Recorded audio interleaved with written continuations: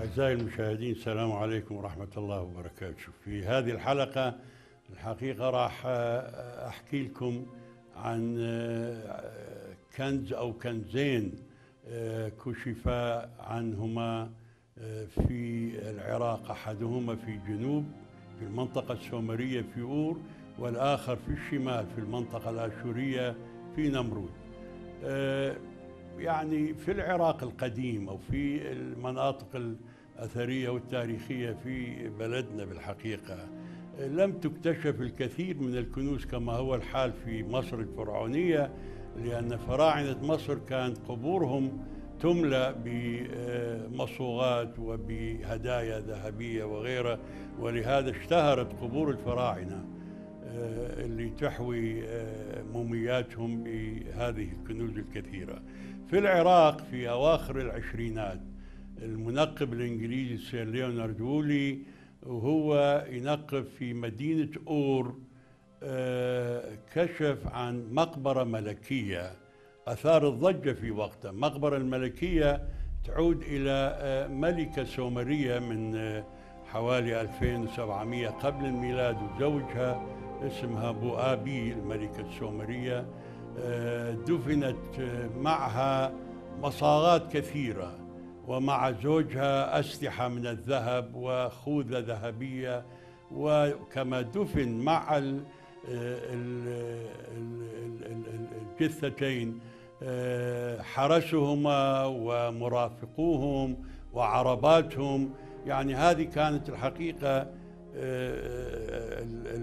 الاكتشاف هذا كان غريب في وقته لأن يظهر كان الملكة وزوجها كانوا هم من ضحايا الزواج المقدس اللي نسميه في الأدب الآداب السومرية أو الملاحم السومرية. كان يقتل الملك والملكة بعد أن يمارسوا الزواج المقدس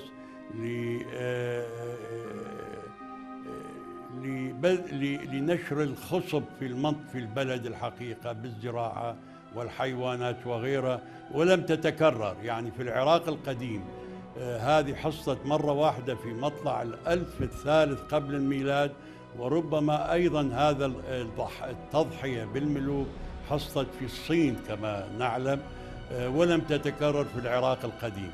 إلا أن المقبرة حوت كنز كبير الحقيقة. في وقتها هذا الكنز وزع بين ثلاث متاحف المتحف العراقي والمتحف البريطاني ومتحف الجامعة في بنسلفانيا في الولايات المتحدة لأن لأن البعثة كانت مشتركة من متحف الجامعة في بنسلفانيا والمتحف المتحف البريطاني متحف لندن بالحقيقة. وكان في ذاك الوقت المدير الفخري للآثار في العراق الآنسة جريترود بيل اللي عينها المرحوم جلالة الملك فيصل الأول مديرة فخرية. وهي اللي كانت تقسم الآثار بين البعثات المكتشفة. إحنا الحصة اللي جتنا للمتحف العراقي معروضة الآن في القاعة السومرية وتمثل الحقيقة كنز من من الذهب ومن المصاغات ومن المواد الأحجار الكريمة وغيرها والقيثارة الموسيقية اللي أعيدت تكوينها وأمور كثيرة والمتحف العراقي الحقيقة لا زال يحافظ عليها. الكنز الثاني كشف عنا بالصدفة في خريف العفو ربيع 89 في أسفل أرضيات غرف قصر الملك آشور آشور ناصر بال الثاني في نمرود نسميه القصر الشمالي الغربي أيضا. شبابنا من آثار الموصل كان كان يكملوا تنظيف وصيانة مرافق هذا القصر وبإزالة أرضية إحدى الغرف الرئيسية للحريم في جانب من القصر كشفوا عن قبر في جثتين وجثة ثالثة لصبية لملكتين وبنت الحقيقة.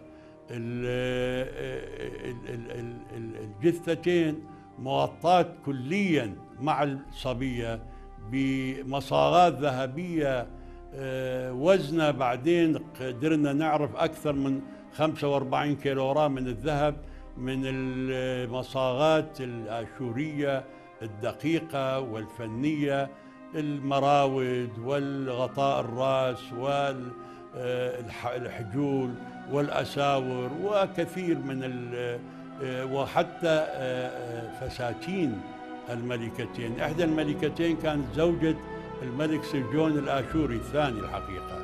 يعني هو هو حكم في نينوى وفي خرصابات ليش جاب الجثة لأن يظهر آه، آه، آه، مدينة نمرود كانت هي هي الحصن العسكري للدولة الآشورية فحاولوا يدفنوا مشاهير المتوفاة والمتوفين في هذه العاصمة وبالفعل حوفظ عليها ولم ولم ينهب هذا القبر أو غيره بالحقيقة. أخرجت طبعا المصاغات وحفظ على الهياكل العظمية وفي في وقتها نقلت المصاغات الحقيقة في وقتها عرضت في القاعة الآشورية الصغيرة في المتحف العراقي والمواطنين والكثير من الزوار شافوها هذه اللغة الكثيرة آه، والفنية والمصاغات الدقيقة والمتنوعة إلا أنه من بدء الأحداث آه، والمعارك آه، وأصبح الخطر على المتحف العراقي ومحتوياته فأخذت هذه المص... هذا الكنز وكنز أور إلى آه، إلى خزانات البنك المركزي ويسعدني أن أقول أنها لا زالت في خزائن البنك المركزي في بغداد في العراق آه، إلى الآن. آه، ونحمد الله على سلامتها وإن شاء الله حين تستجب الأمور الأمنية نهائيا ستستخرج هذه الكنوز ويعاد عرضها في قاعات المتحف العراقي كما كان في السابق وشكرا